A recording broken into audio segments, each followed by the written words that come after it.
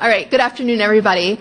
Um, with the number of people here, I'm sure that everybody has heard all about Brooke and her wonderful Reclaim the Records, and um, who is a modern heroine of genealogy. But um, I'm thrilled to introduce her. Um, she is founder of Reclaim the Records, a not-for-profit act not-for-profit activist group that uses state freedom of information requests to return genealogical records to the public. She's the former vice president of Gesher Galicia. She designed and built their website, including its innovative All Galicia database. Um, the underlying search engine code base called LeafSeek was released by Brooke as a free open source project, and she won the 2012 RootsTech Developer Challenge for this, which is sorry, second place. Still pretty awesome.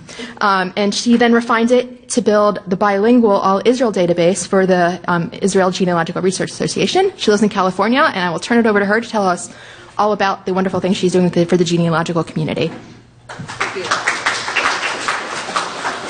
Good afternoon, everybody. I'm going to be standing over here and then speaking over there a little bit. I'm so glad you could all join me. I'm so psyched for this talk.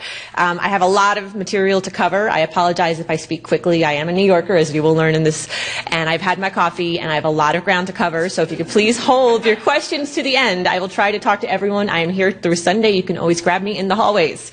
Reclaim the records using freedom of information laws for genealogical and archival research. Uh, freedom is not free, but this is. Feel free to take pictures, tweet it, whatever. I'm going to put this entire slide deck online tomorrow morning on reclaimtherecords.org, which is our website. So do not feel the need to take notes because it'll all be there for you. Slide deck is under Creative Commons license. Hi. If you don't know me, I am Brooke Ganz. I'm a genealogy nerd. I have various uh, accomplishments you can read about. Basically, I love genealogy. I especially love the intersection of genealogy and technology. Um, I love building websites for making records available.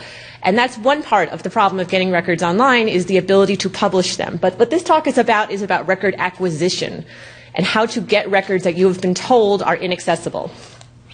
I grew up in New York. I was born in New York. I was married in New York. My whole family's from New York. They got off the boat and they stayed in New York, except for one little branch in Connecticut, but they eventually made it to New York. And I always thought I'd be in New York too. But I married a guy from California. I met him in college, moved to California, been here ever since. And the records I want are in New York. And it is very difficult to do genealogical research from in New York from farther away, as many of you know. Every state does their own thing in terms of putting records online or not putting records online, as the case may be.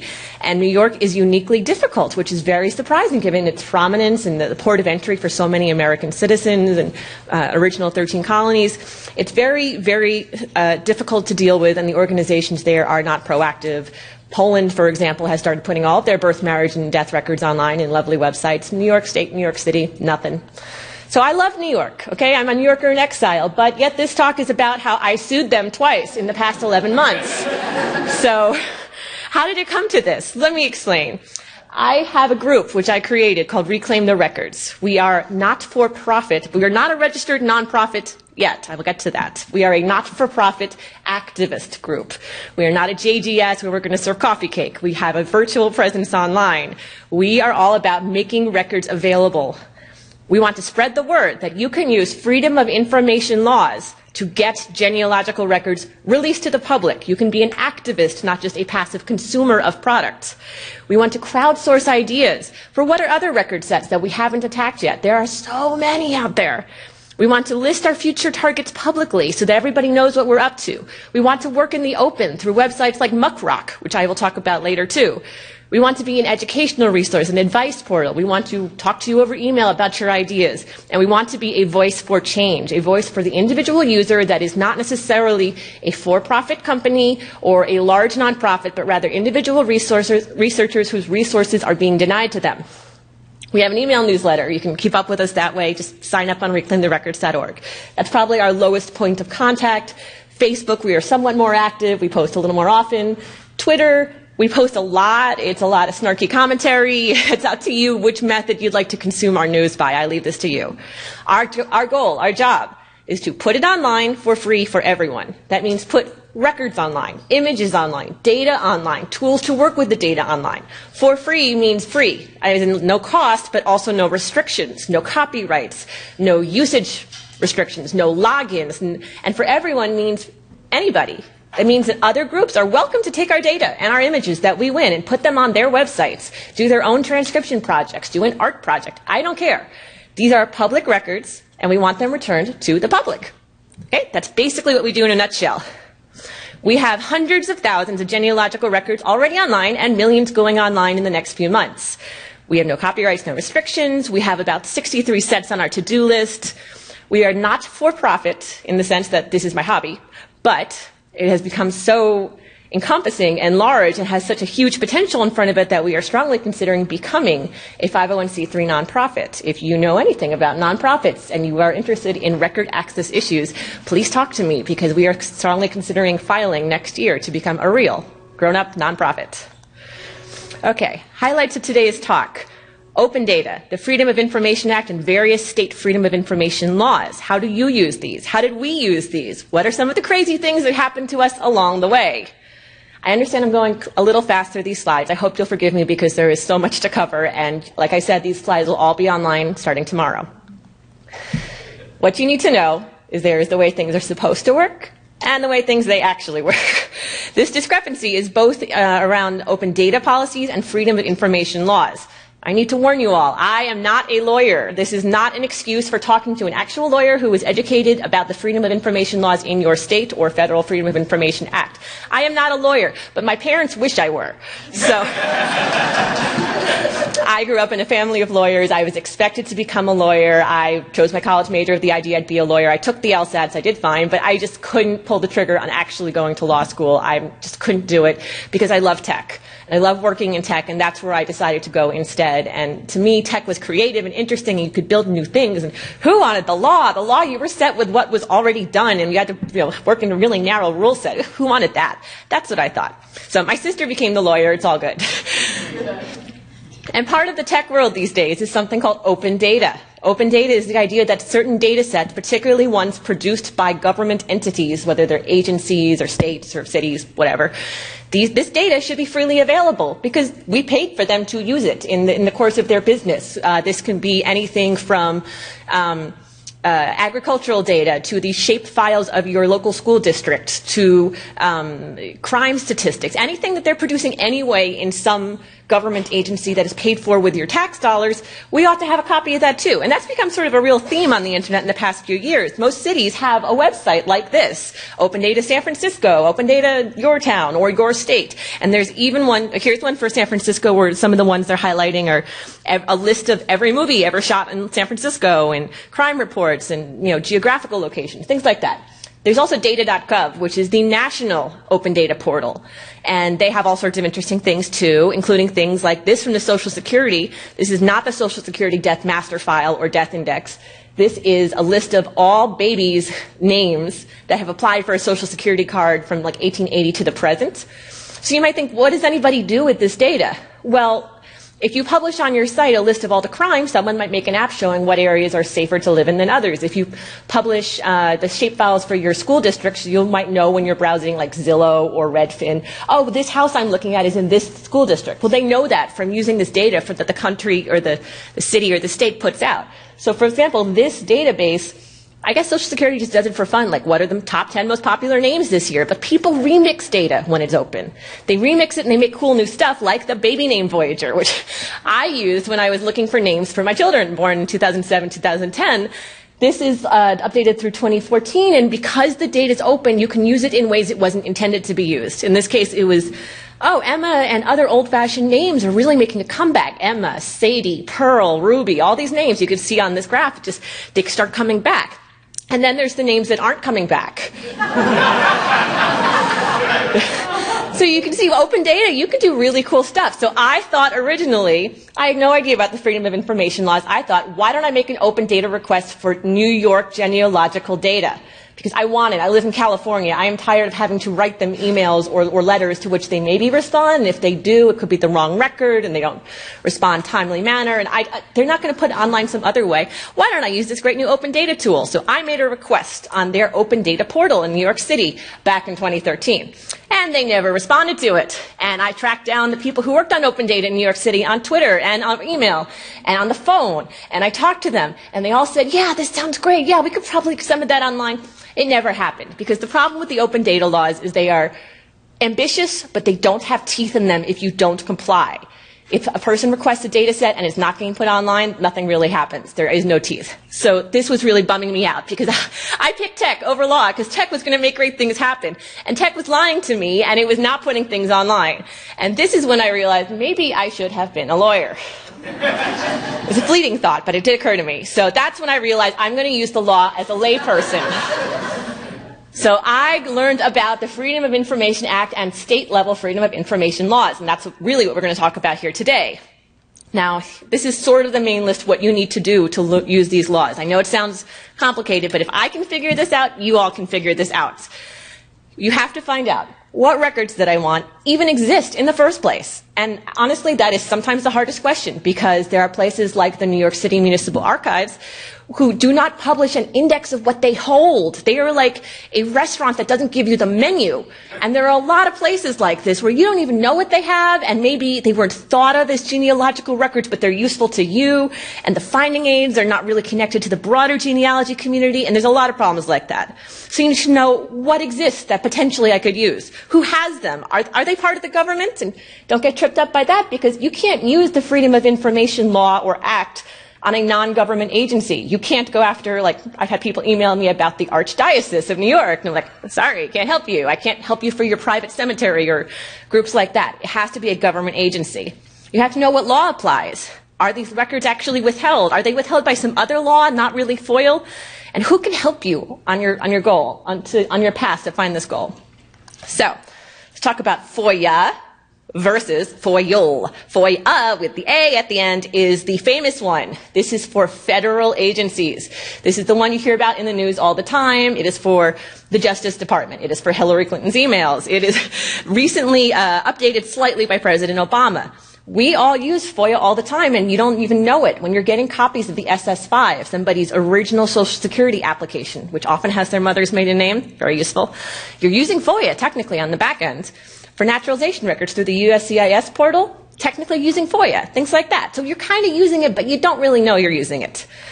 What I've been using so far is not FOIA, it is FOIL, which is the state level laws. Every state and DC has their own law. They're mostly the same from state to state. Some are a little better than others. Um, they all have their own names. Utah's law has the best name. It is GRAMA, G-R-A-M-A. They might be known as sunshine laws or open records laws. Most of these are about 40 years old. Most of them came into being around the time of Watergate, mostly because of Watergate. And they allow people in a state to have access to their government's information, what is being done with your money and in your name. There are 51 different laws because there's 50 states plus DC. This is a great website to be able to learn more. This is Ballotpedia. It's like Wikipedia, but for election and uh, um, uh, public debate, things like that. It has more information about each one of these laws you can click through. Making one of these requests is free, which how often do you hear about something free in genealogy? Not that often. If you need to appeal a denial, also free. A few of them, if they are not listening to your denial, you can sometimes go to an ombudsman or a panel instead of going to court. I keep going to court because that's where we end up. Um, but if you go to court, you can often get your money back if you win the records. Not always, but sometimes. 47, about to be 48 states have that option. If you can prove the records were wrongfully withheld, you can usually get your attorney's fees, which means you basically got all this stuff done for free, just a lot of tourists. Um, in five states, if you win, you're requ- automatically you get your money back, and that is California, Colorado, Florida, Illinois, and New Jersey. And a couple states like Maryland, if they really mess up and they were absolutely withholding for no good cause, they get fined. That sounds, I haven't used that yet. Who can you FOIL? You send a records request to an agency. An agency, at least in New York, is a state or municipal department, et cetera, et cetera. Anybody who took tax money to exist, basically. Most states are pretty similar what they call an agency, and every agency has a FOIL officer. If you go on most state or city government website, you will often see a page somewhere, usually on the contact us page, like who is their FOIL officer, what is their FOIL email address to ask them questions. Um, In New York State and several other states, judicial records and state legislature records are exempt, sometimes governor records too. Then these are sort of the minutiae you have to look into for your own state compared to other states. That means, from a genealogical point of view, stuff like adoption files, court cases, divorce, case, divorce cases, name changes, naturalization, that's all done in the courts. So I can't fi- file FOIL for those. I can use other laws to get copies of those. In New York, there's a Judicial Law 255 other states have their own laws. There are other ways to get records too, but you know you have to know what are the limits of this freedom of information law you're using. We have some workarounds. This is the best part of FOIL. You only pay the actual costs of copying. You're not asking for a favor, you're asking for a copy, and you pay the actual costs. When I won records from New York City Municipal Archives, I got them for $35 a microfilm roll, which is the actual cost of copying a microfilm roll. I had to pay for shipping, and they could have charged me a little bit for the labor to produce that, but only at the rate of the lowest paid person who worked there who was capable of doing the labor. They didn't charge me for labor. So this is a really nice way to get like millions of records for relatively little money if you get to the point where they finally send you the invoice, because the invoice will be the actual costs. Another thing to note about FOIL. If you're talking to an archive or a library and you're like, I know you have tax records, or I know you have the chauffeur's licenses from the city from the 1930s. I want a copy. They have to give it to you in whatever format they have it. You cannot tell them, could you please index all of that and turn it into a database and send me like a lovely formatted database? Not going to work. So the records I've been getting, generally, they were only in microfilm in the first place. So I had to get the microfilm copies. And I found someone very nice I'll talk about later to copy them to digital image for me. But if they have them in paper copies, if you know they have paper copies, you can usually ask them under most laws for either paper copies, for which they can only charge you usually 10 cents a copy, or you can ask for scans for slightly more money. So, you know, you have to sort of see what they have, and they have to deliver. Okay, I'm going to go a little fast just because I want to get to the meat of some of the stuff we won. When you are looking for records, you have to know their parent agency. When I had, was looking for records from the New York City Municipal Archives, the parent agency is not the archives. The parent agency is something called DORIS, D-O-R-I-S, Department of Records and Information Services. So when you maybe bring a lawsuit, you need to know who you're actually dealing with. Um, if you're looking for birth or death, it might be with the health department. There might be a second copy kept somewhere else before they had to do with the state copy or the state registration. Marriages and divorces might be under the judiciary. As we said, judiciary is sometimes not covered by FOIL, depends on your, on your state. You need to find out the parent agency. Uh, if something's in an archive or a library, it might be Department of Education who you're looking for. Even though really it's a library, you're really dealing with the Department of Ed. It's weird. City clerk's offices are tricky because they might have dual functions. They may function as, yes, I'm the clerk for such and such county, but I have records that are not judicial. I have records that are um, like a list of everyone buried in the local city cemetery, which happens sometimes, or some other record that is not a judicial record that is their other work related things, and those can be open. What can you not ask for?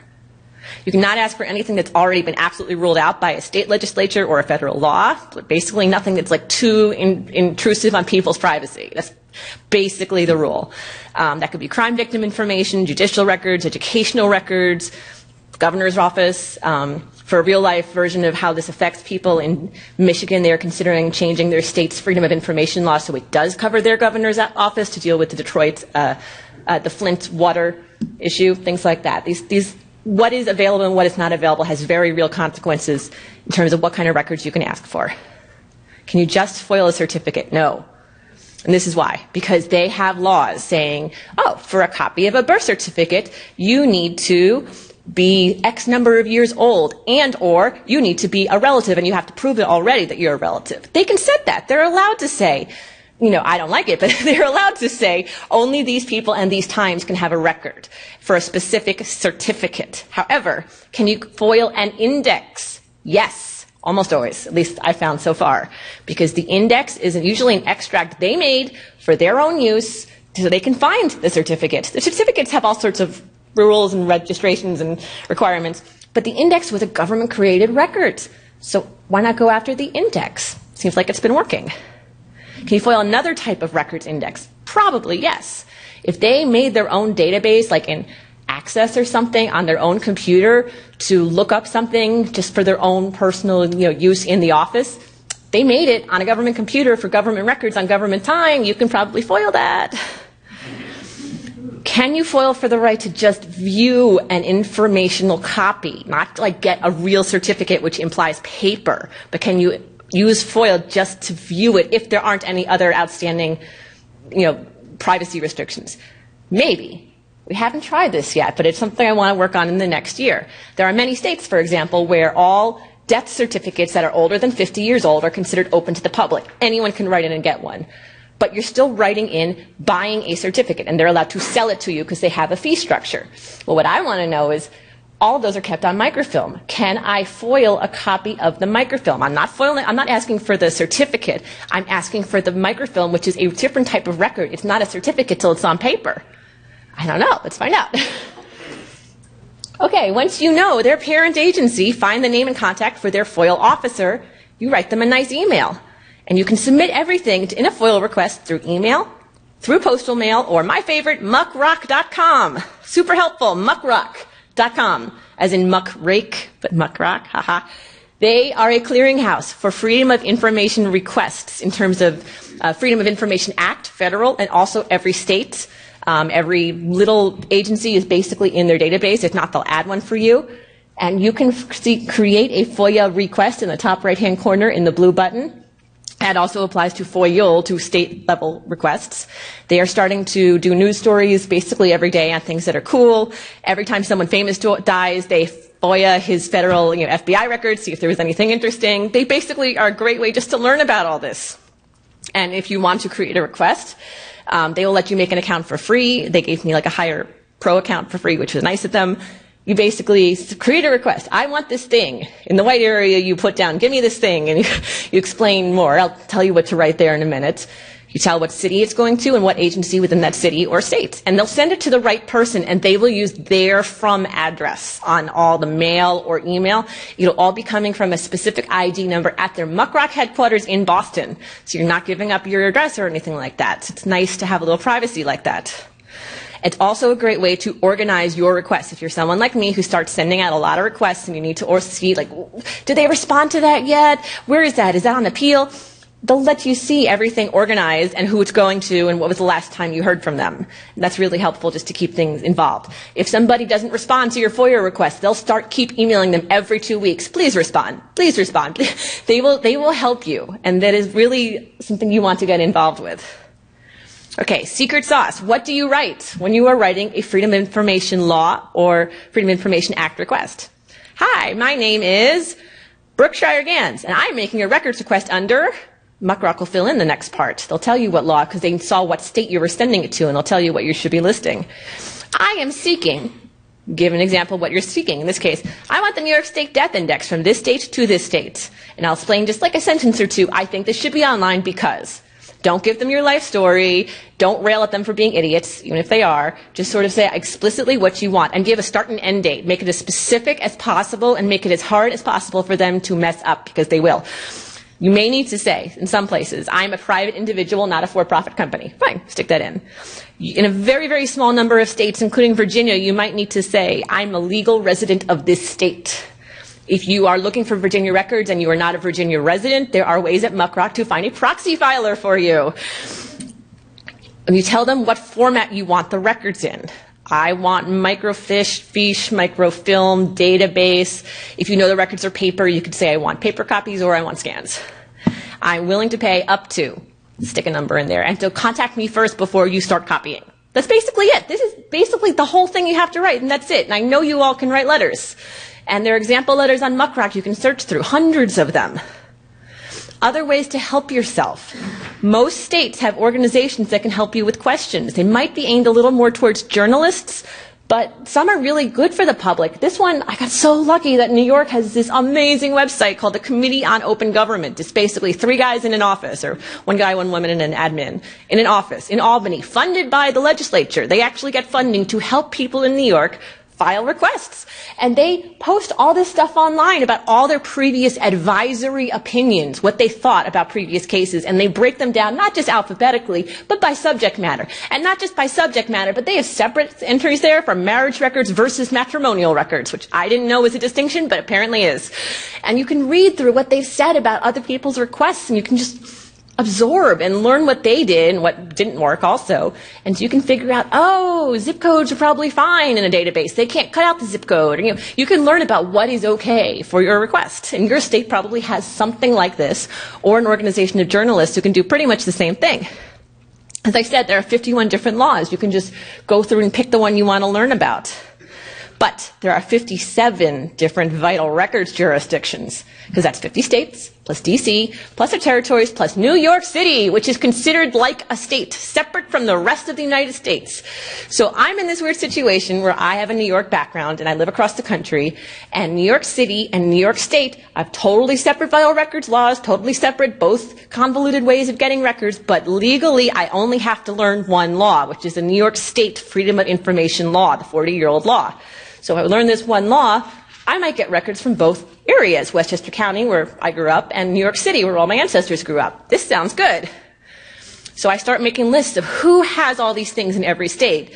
New York State Department of Health has birth, marriage, death. Clerks may have copies of birth, marriage, of birth, marriage, and death in the index. Department of Education runs the archives and the library, and the court system, I'm kind of out of luck because it, FOIL doesn't, in New York doesn't cover the court system. New York City, a little different. Department of Health does birth and death, but the city clerk does the marriages and the civil union records and the index.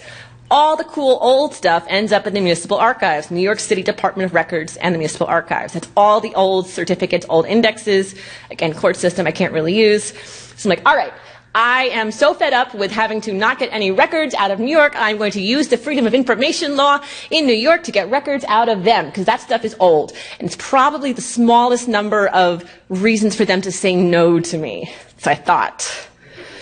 So at this point, I'm like thinking like strategy. Okay, I can't use these open data policies. They're well-meaning tech triumphalism. They don't actually do anything yet. They need better training, better teeth in the law. I'm going to have to go on states where there's good case law, where there's people who can help me, like the Committee on Open Government, where I might be able to get my attorney's fees back. And some states you can even apply for a fee waiver if you can prove you're doing it in the public interest. I don't know anyone who's ever proven to a, a board that genealogy is in the public interest, but I think we have a really good shot at saying that. We are the second largest um, online uh, hobby. I think you all know what the first is. I want new records. I don't want to go after anything that's already on FamilySearch Microfilm or Ancestry. I want stuff that nobody has because I just, I, am sick of this that they're not doing anything proactive. I want to go after old stuff because this way they're not going to slap, you know, slap me down with privacy laws. And I want to build on my win because if this works, oh man, I want to get more records and I want to use the same way of doing it. So, pick the low hanging fruit first. That was my idea. So, New York Department of Records and Municipal Archives, I choose you. I wrote a, a last message on January 5th, but it was really my, my New Year's resolution. This is to Tracing the Tribe. Shout out to a great Facebook group for Jewish genealogy. New Year's resolution, no more Mr. Nice Guy, no more humbly beseeching governmental entities that hold genealogical records for access to our own data. And this was me starting to go after the New York City Municipal Archives. I overshot a little. I knew there was something there that I wanted to get, and that was something most people, even New York researchers, don't know about. It is the New York City Clerk's Marriage Index 1908 through 1929. It was kept by the city clerk originally. It is now at municipal archives because it's old. And I only wanted to go after the index because I knew legally that would probably be easier than trying to convince them, you know, the thing I would like to try but haven't tried yet, to go after the microfilms of the certificates. Um, in New York City, there are two different types of marriage related documents, and people don't really get this. Number one is the one everyone here probably knows about if you got a marriage record. There is the health department certificate. These run through 1937. Italian Gen, which is a nonprofit volunteer genealogy group, made an index to all of these. Again, New York City puts nothing online, so volunteers are doing this and giving the indexes to them and hosting it themselves on their own databases, which is shameful. So if you want to use marriage indexes, you're using our free labor, not the cities, to search, for example, to the Steve Morse front end to their website for grooms and brides who were married in New York and the health department certificates through 1937. You get something like this. You can get the bride name and you will end up with something like this. This is my great grandparents' marriage certificate. Most people have seen something like this from New York. Page one has, you know, parents' names, where you're from, first marriage, age, blah, blah, blah. Second page is kind of useless. Okay. This is what most people think of, but there's a second type of marriage record, and that is the city clerk's records, the ones I wanted to get. Because they are kept from 1909 to the present day, and they are three page documents, they are totally different, and they have more information. The three pages is that the couple had to go to the city clerk to say, I want to apply to get a license, and I will sign an affidavit saying I'm okay to get a license, I'm not married to anyone else, and I don't have VD, and I'm going to eventually get a certificate. And the three are stapled together, and there's three different sets of handwriting, so you have a lot more opportunities to potentially read a name or a town that was hard to read the first time around. This is the same couple, Nathan and Estelle, and this is page one of their city clerk office doc, uh, records. So you can see this. This is the affidavit. It gives a little more information. It gives where the parents are born. You don't get that on the other one. Second page, the actual certificate filled out by their rabbi. Third page, the license. I believe also part of this is the application sort of with it. The page format changes a little from year to year. I'll go into close-ups in just a sec. Extra awesome things this whole record set has. Bride occupation, couples' cities of birth, often not just always the countries of birth, parents' countries of birth. Were they widowed? Did either spouse die? If so, when? Were they divorced? Where was the divorce granted? Are you really sure you're really legally divorced? And your home addresses of the witnesses, which helped me in many cases. For example, here is my great grandmother Esther. She's written as Estelle here. She had an occupation bookkeeper. She worked outside of the house. She's not 22 here. She's lying. Uh, but it's nice to see recognition of this sort of thing on this extra informative document. The addresses for the witnesses. These are both relatives, and now I have an extra source for them. Um, the bottom of the 1932 license and application explains that, oh, these people both had one previous dead spouse. Uh, my female relative here is lying. She's got two. So, but then 1937, they add all these new lines like, what were the grounds for the divorce? Where was it filed? Are you sure you're divorced? And remember, you can't get New York State divorce records for 100 years and they're not covered by FOIL, but you can get this record and this will help you learn about the divorce a little bit. So you always need to look at new places.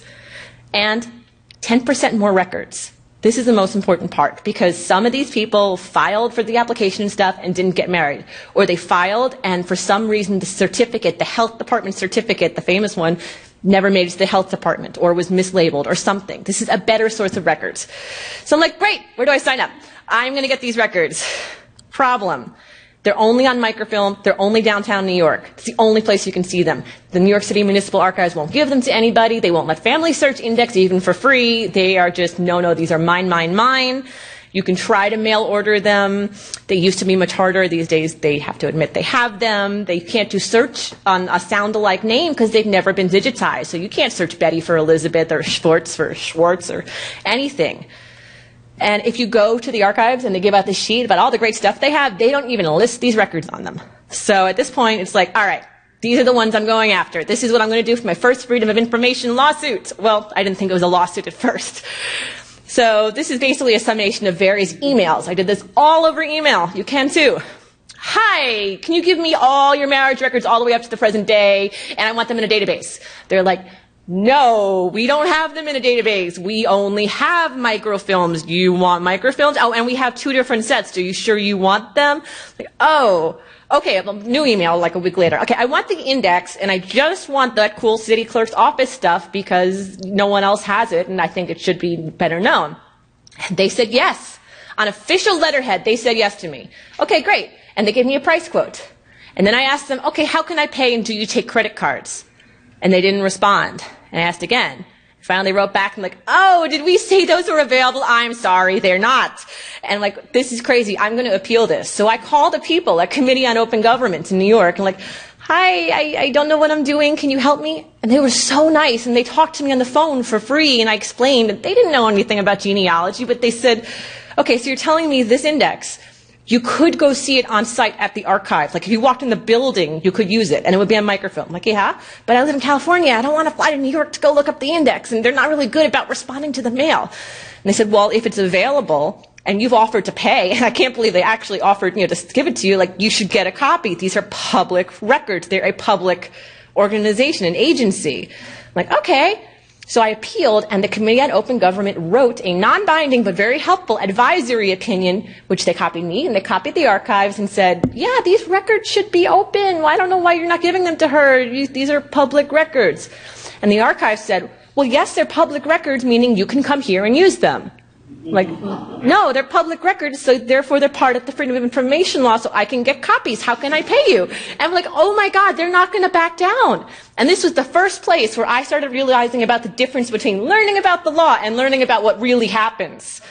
And what really happens is I had to sue them. I was stonewalled. They didn't follow any procedures. What do you do in that case? Luckily, the law tells you. Every Freedom of Information law will tell you if they don't follow the rules, here's where you go. And in New York, that's called following a, filing a legal petition. An Article 78 legal petition, basically you are complaining to the Supreme Court of New York, which is not actually supreme in New York, it's mis- misnamed. You're telling them this person didn't follow the rules of their job as a government contractor or government employee, which is like a serious charge. I'm like, yeah, this is going to happen. This is going to happen. I'm going to find someone who's going to help me with this, and I did. And this was one of the hardest parts was who do you hire for a lawyer? I don't know anything about this. But I found a case that was similar. It wasn't genealogy, but it was similar. There was an artist who lived in New York named Melinda want to say Melinda Hunt, that might not be her last name. And she wanted to learn about Hart Island, which is the burial place in New York City for stillbirths and for the indigent. It is Pauper's Field. It is an island and it's been that way for hundreds of, like, over 100 years. She wanted access to the death record books of everyone buried there. A couple years ago, she filed a Article 78 legal petition against the Department of Corrections, who own the island and own the books, meaning the jails. And she won. She got access to the books. They made a database that, rec- information is open.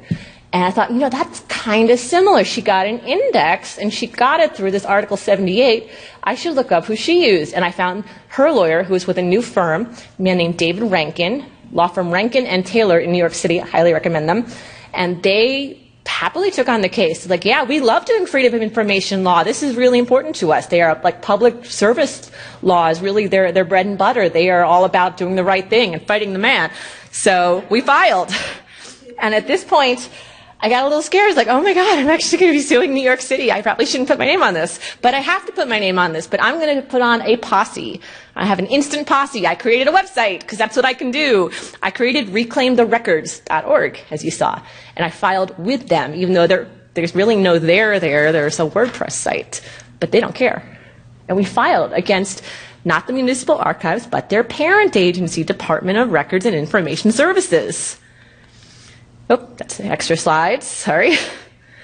And guess who won? We won a settlement. We were supposed to see them on a Friday in court, and Monday they called my attorney and they said, if we give her the microfilms, will she go away?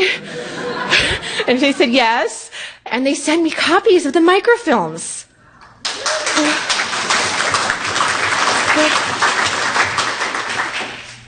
and this was very gratifying. But now I have a big box of microfilms in my house. like, oh no, who do I talk to about this?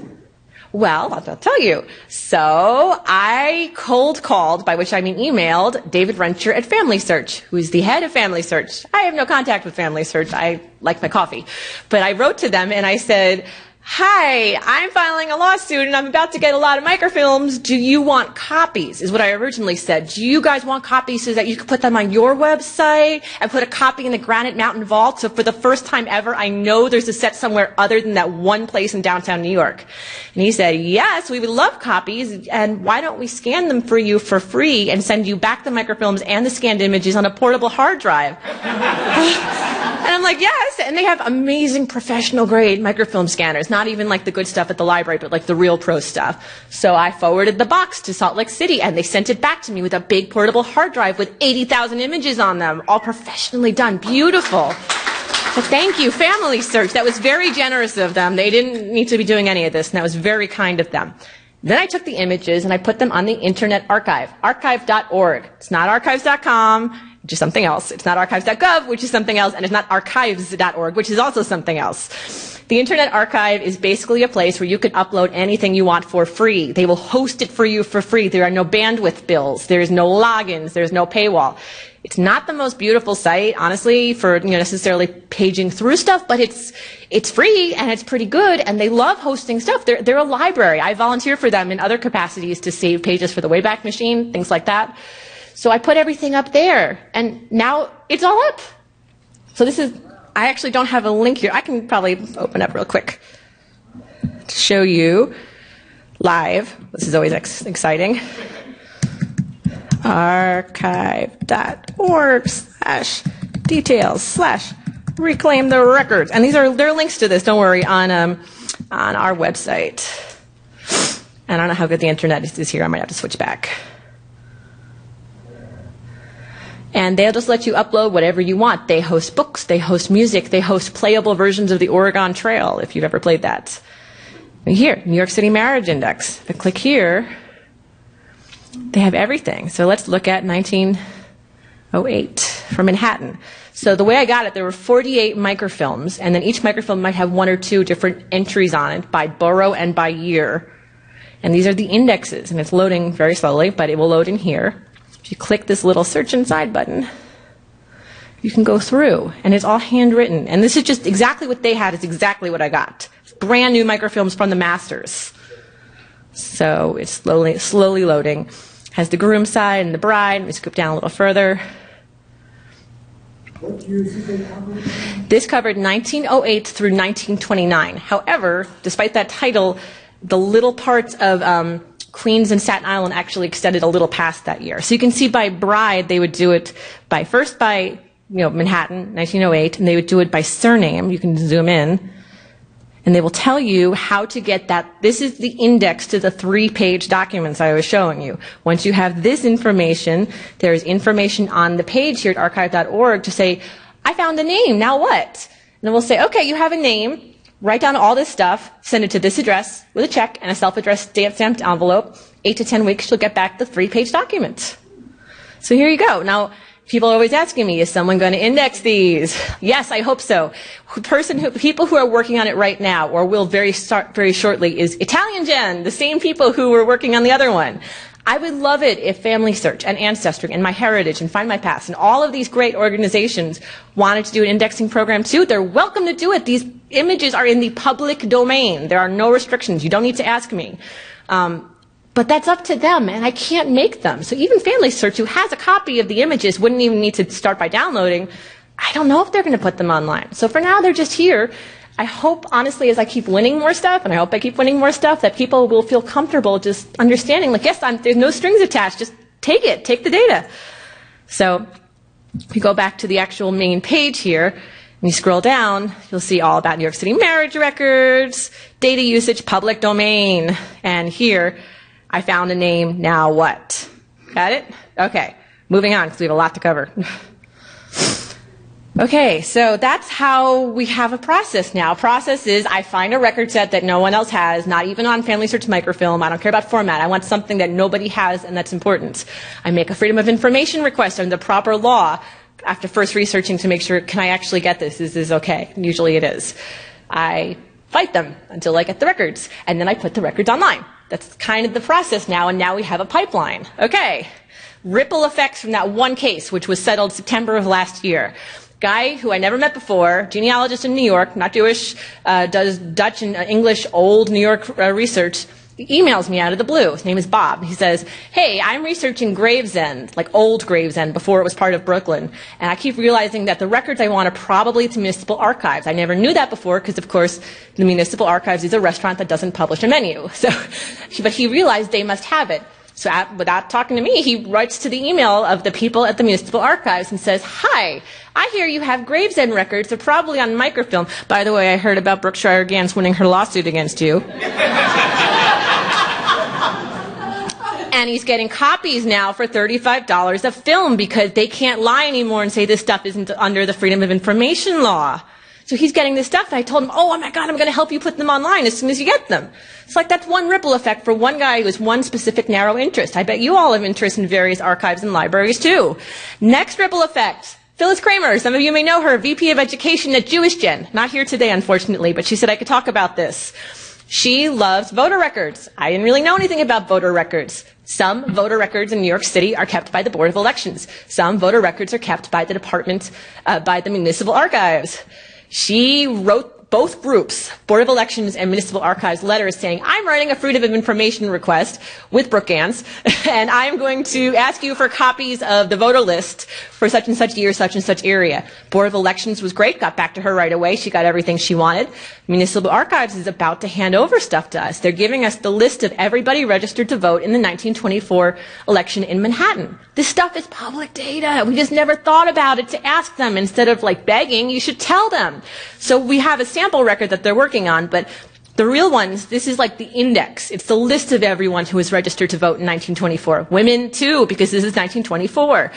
This is a supplement page. I think the real pages, I, am told, will also have political party uh, things, political party affiliations. And the reason this is interesting is because, oh, Jordan has a question. Tell me later. okay.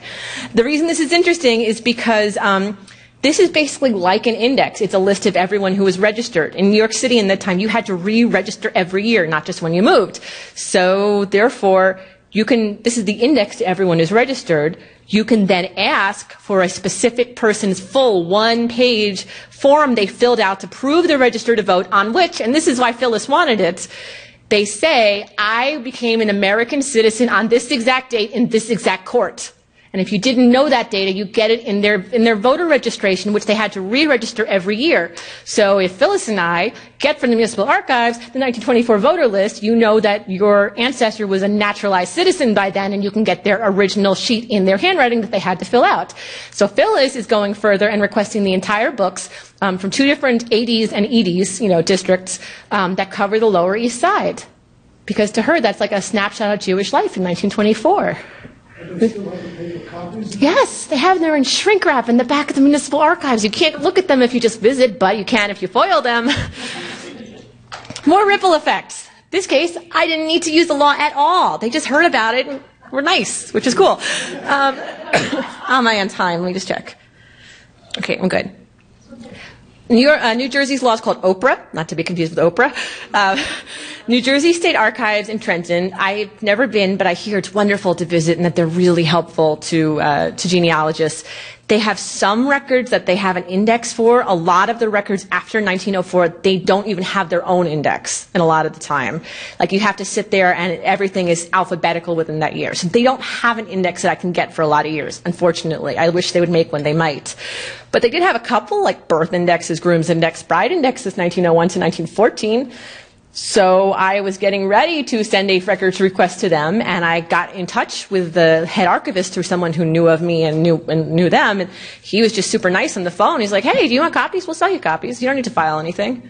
I'm like, no, no, it's uh, Joseph Klett is the head of the, uh, the head of New Jersey State Archive, and he was just nice. And so they made copies for me and they sent it to my house. And then I did the same thing where I sent them to FamilySearch in Salt Lake City. They paid for the shipping too. And, so, and FamilySearch was incredibly nice and they scanned all of the images and they sent me back the, the actual microfilms and the hard drive. Same deal. It's like kind of turning into a funnel now. And so I'm putting these all on the Internet Archive. Now, little secret, they're about 98% online already, except for one year where I think I'm having problems with the film. We might need to rerun that one film. That's why it hasn't been announced yet. And they're handwritten, most of them. Not the, the bride's index was often microfilms of an old dot matrix printout. And because it's such high resolution, you may be able to do a text search like unofficially on those. But most of them are handwritten. So these two, someone's going to have to go through and do a laborious indexing job. And again, I wish FamilySearch or Ancestry or somebody would do them. Um, but that's up to them. And in the meantime, ItalianGen's like, sure, we'll take those. It'll take four years, but we'll do it. I'm like, sure, okay. So this is my big news from this week, or last week rather. Um, after I got the New York City Marriage Index from the Municipal Archives, those ran through 1929. Because all the newer stuff is still at the city clerk's office because that's where you go to get married. So I sent a FOIL request on in January to the New York City clerk's office and said, "Hi, you have the New York City marriage index 1930 to the present. I want it." And they didn't respond. And then we sent more emails. Hey, did you get my request? You're supposed to respond in X number of days. They didn't respond. Um, well, I'll get to how we did it in a minute, but long story short, we won. they settled with us. Um, this, this news just, I was able to finally announce it last week. We are signing the papers this coming week. Cross fingers, my attorney says it's fine to start talking about it now despite not the final stipulation settlement signed. So I'm going on faith that she is correct and they're not going to back out now. Again, they have been due to see us in court many days and they just kept putting it off, putting it off. And then we told them we're not going to give you any more time to put it off. Like just put up or shut up. If you have a reason to tell us no, tell us. But you haven't said why you're saying we can't have it. You haven't said there's some privacy rule.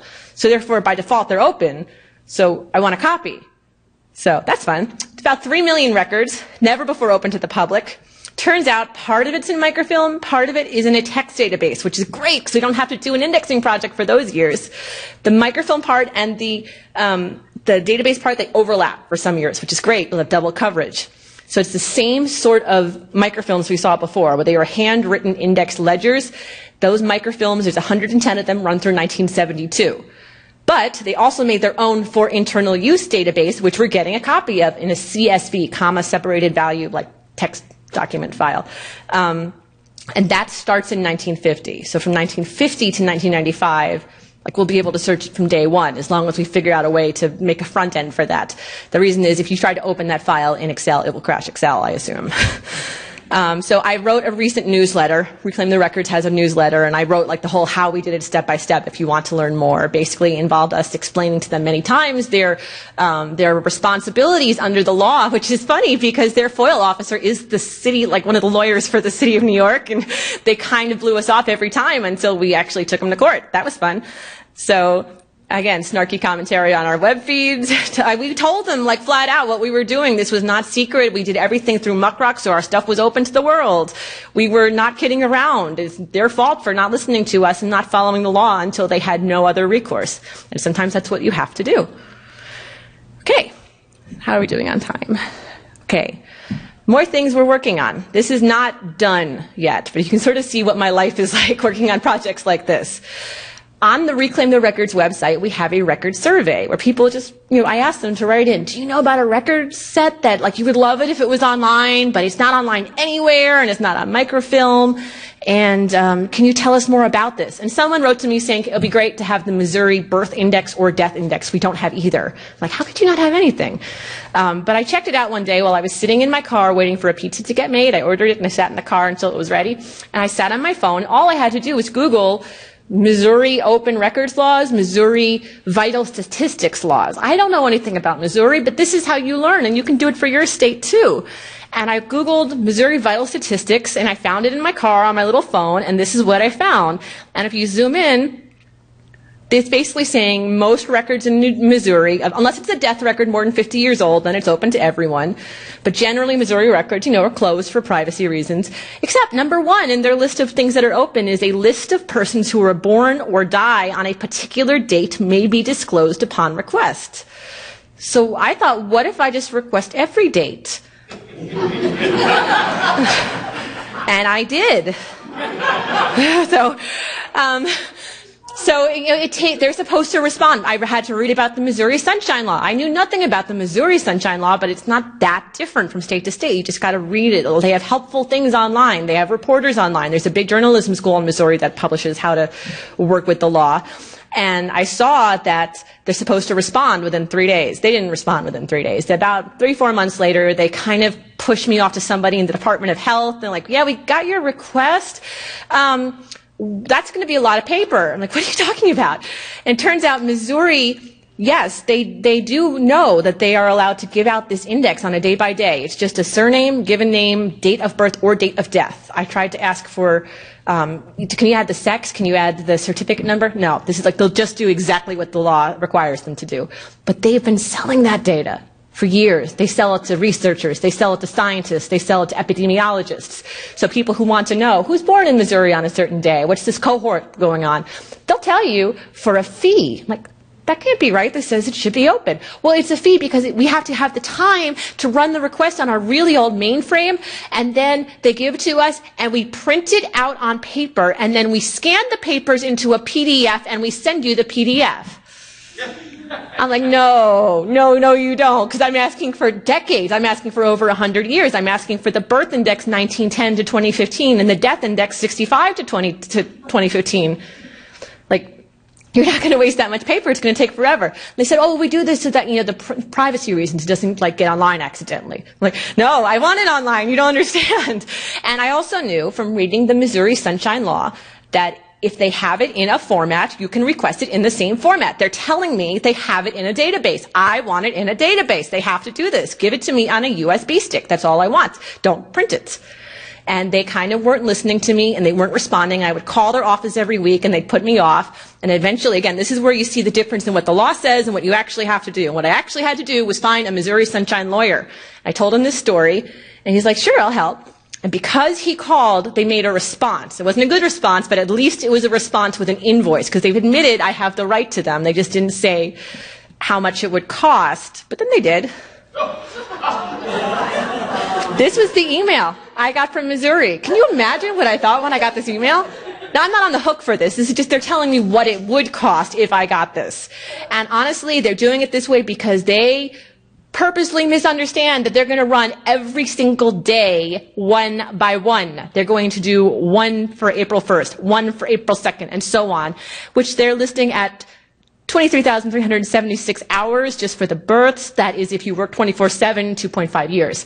This is ridiculous. This is insane. This is already open in the law. There is no reason for this. Luckily, this is why you have an attorney. And our attorney wrote him some letters saying, how can this be possible? By the way, don't you know, under Missouri law, if you have it in a database, you have to give it in a database. You know, this is established law. And by the way, Missouri is one of those states where they have fines if they mess up and they know that they're breaking the law.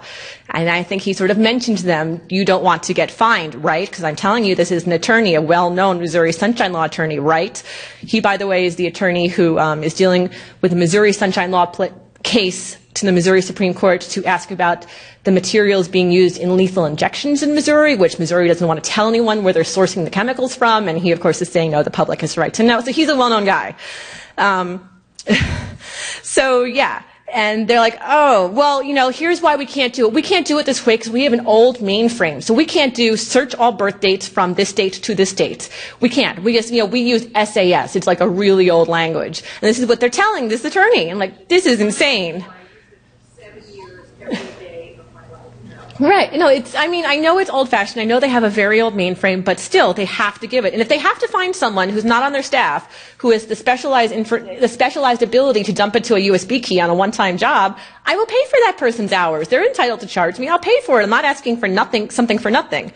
So they tell me SAS just can't do a search on like that. But they did tell me it was SAS. So I look online. I don't know anything about SAS, but I found their contact us number and I found their tech support number. And I called them up and I didn't tell them I did work for Missouri Department of Health, but I didn't tell them I didn't work for Missouri Department of Health. I said I was working with the Missouri Department of Health database and could you do a search on multiple dates with like one search? Like search from this date to this date, export to a file, put it on a stick. And they're like, of course you can do that. Like, how, how dare you? Yeah, I know, it's like a line of code. Like, how dare you impugn our database system? You know, it's wonderful. So I, we write back to the Missouri people and like, no, no, you can do this. And we have proof that you can do this. Would you like the tech support number? Here it is. And that's when they write back to us and tell us, this was a misunderstanding. So they finally write back and they're going to keep refining this because at this point they're still doing one search per year. But like, come on, you can do one search for multiple years at once. I know you can. So they're going to keep looking at this and get like a more reduced rate. Eventually they'll get it down to the actual cost, send us an invoice, and hopefully by end of this year, 2016, we will get the Missouri birth index and death index and put it online. And they'll never charge again. So, so that is my life these days. It is working with the government or against the government. Um, New York State. New York has an open data portal like many other places. Um, this is New York, and New York for has, as bad as they are about not making things available and being terrible to deal with, they do have a small amount of data on their op- genealogical data on their open data portal.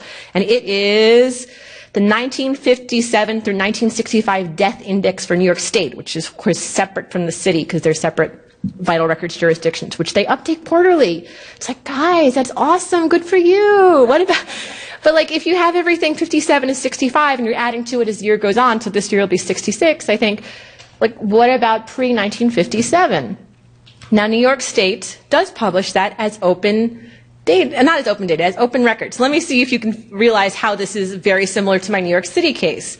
If you're in New York State and you want to look at some the record, the death index for someone who died in 1930 or 50 in Yonkers or somewhere like that, you can go to a small number of New York State libraries, only the libraries. You go in, they take like your phone and your pen and stuff. I haven't actually done this, but I hear about it, and you can view microfiche so yes, the records are open, but they're only in a specific location, a couple specific locations in New York, and they're only in a really old format. And I'm like, oh my God, this is the same as my New York City case all over again. It's just the New York State Department of Health owns these. I'm going to request these.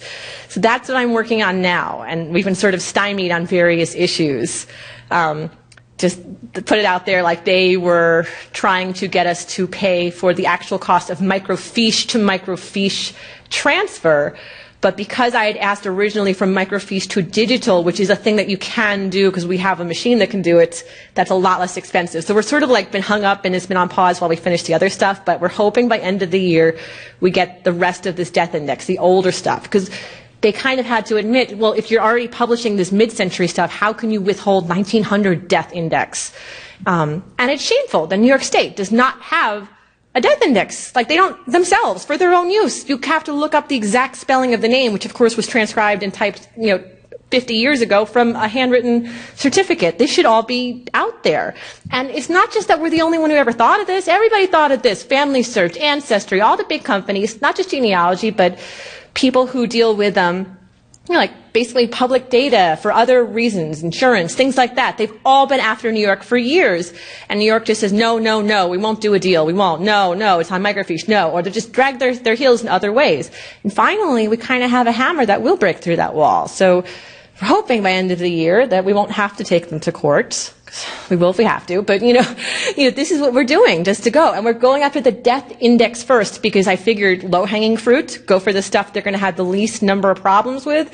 Dead people don't have privacy rights. So getting a list of dead people's names from like 1880 to 1956 shouldn't be a problem. I didn't think it would be as hard as it is. But once we get it, the exact same rationale will give us access to the other records that are in those New York State libraries, like the marriage index, which we can get all the way to 2015, the birth index, which is apparently like through the 30s, because that birth indexes are really tricky. You don't want to infringe on people's privacy, but it's just the index to their names, and they're already public records. It's just not accessible public records. So that's the kind of stuff I work on. I'm testing the waters on access to educational records, like school records like, this will go down on your permanent record. There really are permanent records all around the country. And a lot of school districts have records retention policies that say you have to hold on to these for 100 years. So I'm starting to test with like little things to the New York City Department of Education and other places. Hi, you have a record for my great grandmother. Can I have a copy? She's dead, so shouldn't be a problem, right? So, you know, just, I don't know what's going to happen, but you have to try testing. I'm not going to like sit around and wait for them to do it because they're not. Um, so yeah, this one is for my great grandmother again. I purposely didn't say she was dead because I wanted to see if they would realize she must be dead. I wanted to see how dumb they were going to be. like, I don't know what's going to happen, but you have to try somehow. I also made a FOIL request to the New York City Department of Education, not for a person's records, but for a school's records. But I found and read the records retention schedule for the New York City Department of Education and says prior to like 1950 or so, every school had something called an all school census, which is like the directory. It's every kid who was in the school, what grade they were in, their class list, their attendance list, their parents' names, their home address, their grades, like uh, all this sort of stuff. So some of it's probably too intrusive. You can't get their grades if they're obviously if they're still alive. But parent list, parent names are actually part of the directory legally. Now there is a federal law called FERPA, which comes into play too, which protects you know, privacy rights around these records. But FERPA generally doesn't apply to dead people, or it's not supposed to. I don't know if New York realizes that. And FERPA is not supposed to apply to basic directory listing. So I don't know what's going to happen. Let's find out. I'm still working on this. this. Maybe next year I'll have more information. Nice screenshot again of our website. So this is where you can come in to start thinking about what records you want. It shouldn't just be, oh, you did great stuff. Good job getting those records. You can get the same records. You can do the same thing with whatever part of the country you care about. You just have to do a lot of research. That's all. And, and, you know, don't be surprised if they try to do really ridiculous stuff. Just, you know, just it, roll with it. We have a record survey on our website where you can tell us about records that you know exist, not like ones you wish exist, but you know that they exist somewhere and you just can't get access to them. Like, oh, there's a naturalization book at the library, but people aren't allowed to look through it. Only the librarian can look through it, so I can't see the index. So that's a problem. Or, oh, there's, you know, these old records of like employment records from the city employment records, the public employment records from like the 1920s. Or, oh, there's this. Or why does this state not have anything? Um, and we put them on our to-do list. We research every one of them before we put on the to-do list. We're only putting things up that we really think we would have a decent shot of getting. It's not like we want to do a scattershot approach. So we have like 63 items on this list already. You can see what we're going to eventually be working on. We'll announce more all the time. Okay, getting to the end here, and I'm going to take your questions very soon. So why do you do all this? Why do you like to beat your head against the wall and fight the government, fight City Hall? Well, it's because you should not be, as a researcher, you should not be assuming that your records are going to be coming to you magically. They do not drop in in the dead of night. They, the governments, the agencies, I do feel a little bad for them. Honestly, they don't have the budgets to do a lot of this stuff. They don't have the budget to put a lot of stuff online. They have to deal with government uh, um, contractors if they ever wanted to put something online and cost overruns. They are feeling like they need to justify their existence, and by holding on to the only copy of records, it gives them power. And so they're not necessarily going to be proactive. So you can't assume they're going to do the right thing. They might, but they probably won't. And they probably can't, even if they are good people inside there. Same with libraries the for-profit genealogy companies, I'm a member of all of these different sites. I pay ridiculous fees every year. I think there's a place for them. But they have become kind of the only venue to get new record sets online by making often exclusive deals with all these various city and state governments. And that's messed up. There's no other way to put it. Now, I understand that it benefits both sides. They want to make a profit. They're a company. That's what they are. And the, the libraries need money. That's what they do. So you know, it sort of benefits all of them, but where does it benefit us? Does it benefit us if everything's behind a paywall for five years or ten years or forever? No. Um, even some of our favorite large and small nonprofit genealogy companies can't often do this. And the reason is they have to be incredibly protective of their name, their reputation. They don't want anyone ever thinking they came in here and took our records and put them online. They're going to do this, this, and this with them. Like they like have to be super nice. And even if they're being treated badly, which they often are by these archives, like they are not going to go be the bad cop. So if we are all the bad cop, they can be the good cop, which is fine by them and fine by me. And sometimes even individual genealogists, sometimes we're our own worst enemies. We're always looking for our records, our grandmother's record. Where's my great grandfather. And we're so narrowly focused, we forget about the entire record set that is there that could benefit everyone if we only took a little more time to open it. Not just one record, but the set. So that is why there is no records fairy. You can be the records fairy if you want to be. Finally, I would tell you to use these freedom of information laws because we can, because we are lucky to have them. They are an underused tool and they are mostly free unless you run into terrible people, which you might. Maybe I was just unlucky, but maybe maybe you'll be lucky, or maybe you'll find someone who realizes they have to open the law and they'll work um, let records under the law and they'll work with you. So we have these laws. No one else is going to be using them except for individuals, so individuals should use these laws because look what you can do for a little bit of money. You can get everything open to you forever. God bless America. Thank you. Okay, questions?